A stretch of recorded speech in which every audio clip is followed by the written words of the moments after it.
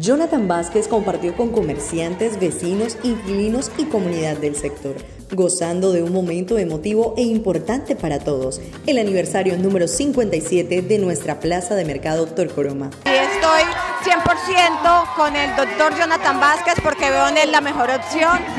una persona que se ha preparado para administrar la ciudad, una persona que es la idónea para que maneje los recursos de nuestro municipio, de nuestro distrito y para que por fin podamos avanzar. Bueno, Jonathan Vázquez es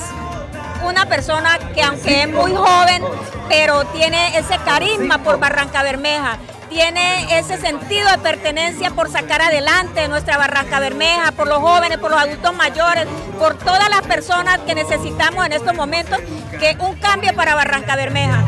Sus propuestas son geniales, todo lo que tiene que ver con respecto a la plaza, los nuevos emprendimientos, todo eso nos enorgullece y sobre todo a nosotros los más jóvenes que vamos a ser el futuro como tal de la ciudad. Eh, estoy de acuerdo con todas las propuestas que tiene Jonathan Vázquez y pues apoyarnos. Queremos darle gracias a Jonathan porque él ha creído en a su inquilino Plaza de Mercado Torcoroma y a él ha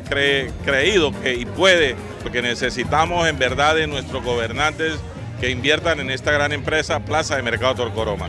Jonathan es el alcalde que nosotros necesitamos para sacar adelante esta gran empresa como es la Plaza de Mercado Torcoroma. En medio de cantos llenos de folclor, hubo alegría desbordante y la Asociación de Inquilinos de la Plaza de Torcoroma sentía dicha plena por compartir con Jonathan, alcalde.